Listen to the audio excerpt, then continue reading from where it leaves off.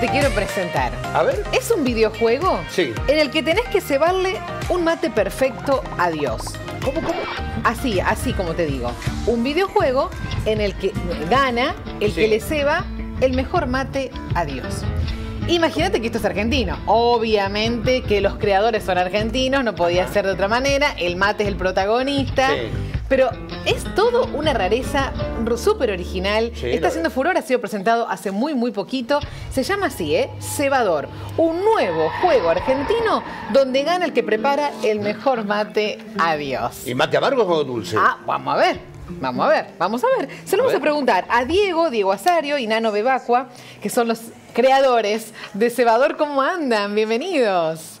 Buenas, ¿qué tal? Hola, buen día. Bueno, acá mi compañero Jorge me decía, ¿es amargo el mate? No sé, depende quién, ¿no? Depende quién lo cebe y depende quién le guste a Dios. ¿Cómo es la cuestión? Y ahí está la gran pregunta, ¿no? ¿Qué es un buen mate? ¿Cómo es llevarle un buen mate a Dios? Bueno, nosotros consideramos que el buen mate es el mate que le gusta a uno, ¿no? Entonces, Claro. Un poco celebrar es decir, che, ¿cuál es el buen mate? Y el que me gusta a mí, el que yo me tomo, el que disfruto. Así que un poco va por ahí la cosa. Va por ahí. Che, me, me parece genial la idea. Han- se han hecho virales también por lo que significa esto de meter a- al mate, meter a Dios, este juego. ¿Cómo surgió la idea? Cuéntenme. A ver, en realidad la idea surgió no, no tanto por la idea del mate en sí, sino por la idea de crear un juego entre nosotros dos, que somos amigos hace Amigos. muchos años. Sí. Eh, nos conocimos de hecho jugando juegos, siempre el, el juego de una manera u otra trazó nuestra, nuestra relación y hace unos años eh, nos planteamos la idea de empezar a estudiar el diseño de juegos, el cómo hacer juegos. ¿Es el primero? jugarlo. ¿Es el primero que hicieron? Es el primero que hicimos, sí. Y nada, hace más o menos un año y algo nos sentamos y dijimos, hagamos un proyecto y terminémoslo y hagámoslo completo y que, que esté bueno.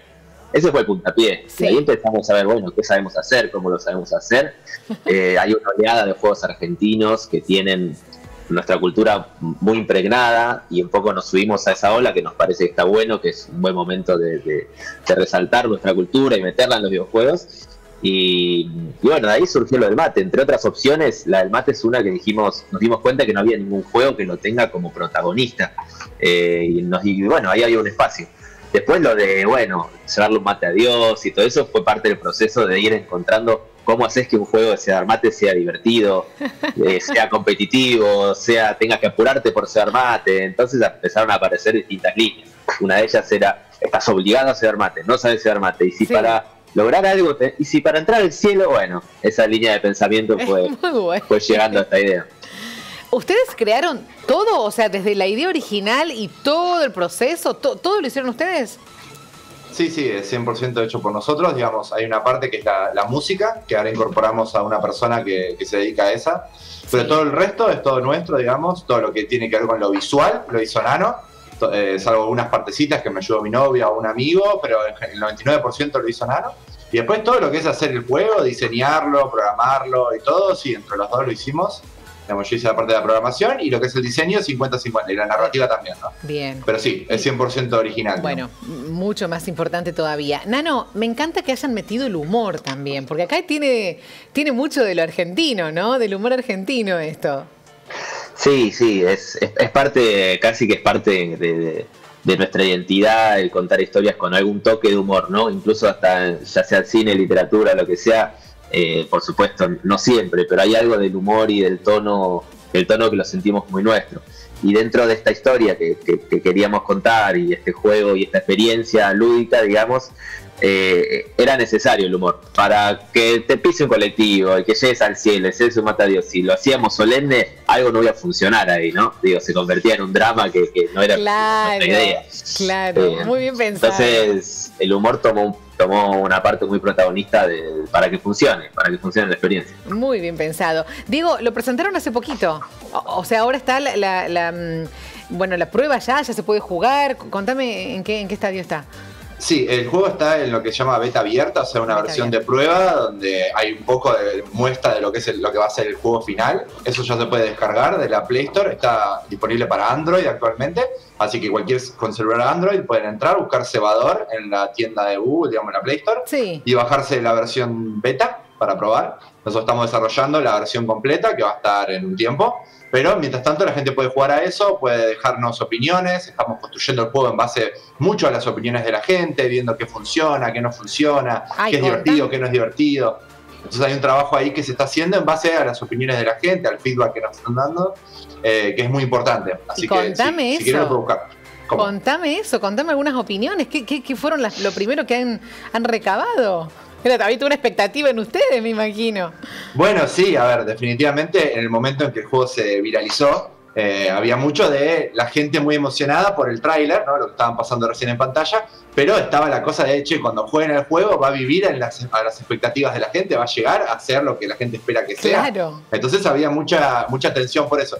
Y la realidad es que, que sí, digamos, cuando, cuando la gente empezó a jugarlo, tuvimos mucha suerte de tener varias miles de personas jugando el juego antes de que salga, digamos, haciendo pruebas.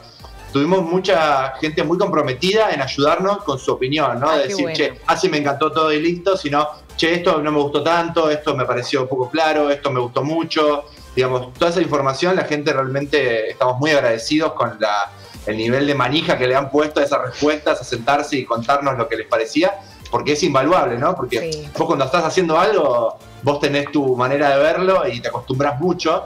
Eh, y cuando hay una mirada externa o que lo prueba por primera vez, das muchas cosas por sentado que tal vez cuando, cuando pasan no, no son así, o no se entienden tanto, o les gusta algo que nosotros capaz ni dábamos bola. Entonces, e, ese, esa construcción, y son mucha, mucha gente nos ha dado, o sea, estamos hablando de más de mil, respuestas de formulario. O sea, es mucha, mucha gente que se ha, se ha, puesto el tiempo. Eh, entonces, también hay un aprendizaje nuestro de digamos, poder navegar esas opiniones y entender de todo eso qué es lo importante, qué es lo que hay que cambiar, qué es lo que no se entendió. Entonces, nada, realmente ha sido muy positivo eh, de todos aspectos, desde que les gustó hasta las críticas constructivas que hemos tomado para mejorar el juego y que seguimos haciendo, ¿no? Hay mucha gente con muchas ideas también, como, eh, nada, muy emocionada. Sí, qué enriquecedor. Así que funciona, digo. Qué enriquecedor, estaba pensando eso que decís, tanta gente comprometida y que, suma para ustedes. Pero, Nano, ¿te acordás, por ejemplo, entre todas las, las críticas, ¿no? De lo bueno y lo malo. Digo, ¿qué, qué gustó mucho de esto? Porque a mí me parece tan original esto. Digo, ¿eso es lo que atrapó? ¿Qué atrapó del videojuego? Bueno, un poco como, como decía Diego, en un principio, antes, antes de que la gente lo juegue, incluso sin duda atrapó la, idea, digo, la, la, premisa, ¿no? La premisa nosotros sabemos que funcionó, el trailer funcionó porque se viralizó y logró llegar a mucha gente sin, sin haber jugado el juego. Entonces hay algo esta premisa de salís de tomarte un café de especialidad de una marca no argentina, te pisa un colectivo súper argentino, llegás al cielo, Dios está vestido de gaucho. Digo, hay algo con todos esos pequeños elementos que, encima transcurren muy rápido en, la narrativa del tráiler y del juego también, que tienen un impacto que, funcionó muy bien. Después, cuando ya la gente lo jugó, em, creo que siguió siendo en parte esa narrativa lo que a la gente le gustó y, después le gustó mucho esta cuestión del pequeño como decías vos, el pequeño humor, a la gente que vos le vas cebando el mate, te van diciendo frases que son también muy argentinas, muy nuestras, y mucha gente se identificó con eso. Fue un poco a propósito, los personajes que pusimos representan ciertos estereotipos, tenés la abuelita que te pide el mate dulce, tenés, eh, qué sé yo, uno que tiene medio cara de malo que, que, te mueve la bombilla, tenés uno recolgado que se queda con el mate como micrófono, entonces... Muy bueno todo eso repercutió mucho en la gente porque se sienten identificados, porque se parece a alguien que conoce, porque, uh, mira, este es como tal o cual, que hace lo ¿Aparece, mismo. ¿Aparece el que le pone edulcorante? Edulcorante todavía no, ah. hay azúcar por ahora, eh, no hemos llegado al edulcorante, pero bueno, seguramente aparecerán, muchos lo pidieron. Va a aparecer, ¿viste? viste que eso es típica, los que toman, los que toman mate te dicen, no le pongas edulcorante, por favor, pero seguramente va a aparecer. Eh, de ese tipo había muchos, de, edulcorante, de que le pongan miel, que le pongan claro, naranja, que claro, no hay tantas variedades. Eh, Diego pensaba, es, es un juego, un videojuego tan, tan argento, todo, todo, todo. ¿Tuvieron alguna, mm, alguna repercusión afuera o alguien que lo haya jugado afuera? Digo que por ahí no, no tiene tan, eh, no está tan involucrado con el mate o con nuestra cultura.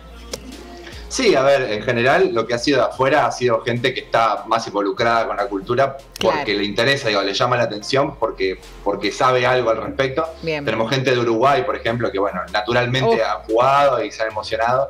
Eh, incluso han discutido que el dios era uruguayo, digo, hay, polémicas armadas por ahí. Eh, pero después gente de Brasil, también del sur de Brasil, que también se toma mate, ¿no? Que le dicen cimarrón. Eh, entonces también levantado de ese lado. Y bueno, algunas personas de Estados Unidos, ¿no? Que hay toda una movida de este, revalorización del mate, especialmente con todo lo que tiene que ver con Messi, con Colapinto. Me parece que hay como una movida de, che, ¿qué onda el mate, no? Como mucha gente eh, con curiosidad al respecto. Entonces, un poco desde ese lado ha venido, pero la verdad que el mayor impacto ha sido argentino. Acá. Bueno, me encanta la idea, es súper tentador entrar a jugar. Yo creo que ahora más de uno debe estar buscando en la Play Store ahí el, videojuego para, para sumarse. Súper entretenido seguramente va a ser. Bueno, les quiero agradecer muchísimo. En, las redes están como el cebador. Ahí pueden ustedes, eh, también la gente ingresar, eh, buscar ahí. Ahí está la prueba beta que vos decías, Diego, también como para que la puedan bajar. Eh, perdón, en las redes es Cebador el Juego, en Instagram, ah, TikTok o Twitter. Cebador Tienes razón, Cebador el Juego, ahí está. Bueno, muchísimas gracias, felicitaciones, qué lindo que haya así argentinos tan ingeniosos y que, la verdad que, nos proveen a nosotros también esta oportunidad de, sumarnos a esta alternativa. A mí me encantó, me encantó la idea. Muchísimas gracias. Gracias a ustedes, un placer. Un abrazo a los dos. Hasta luego.